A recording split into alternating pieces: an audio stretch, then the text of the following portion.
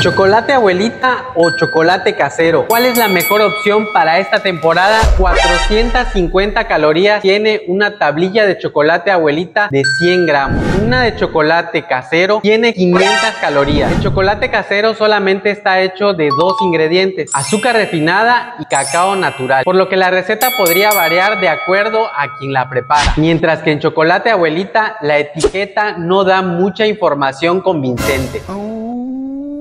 En proteína, el chocolate abuelita solamente aporta 3.81 gramos, mientras que el chocolate casero aporta 8.77 gramos. Los carbohidratos del chocolate abuelita son de 78 gramos, los cuales 61.88 son de azúcares añadidos, mientras que el casero solamente aporta 56 gramos. Según la información no verificada de internet, chocolate abuelita solamente contiene 4.68 gramos de grasa, de las cuales se desconoce su origen, mientras que un chocolate casero tiene 27.33 gramos de grasa. Todas son provenientes del cacao. Esta es la apariencia que tiene un chocolate casero. Tiene una forma muy rústica ya que está hecho de manera artesanal, por lo que esto lo va a hacer todavía más rico.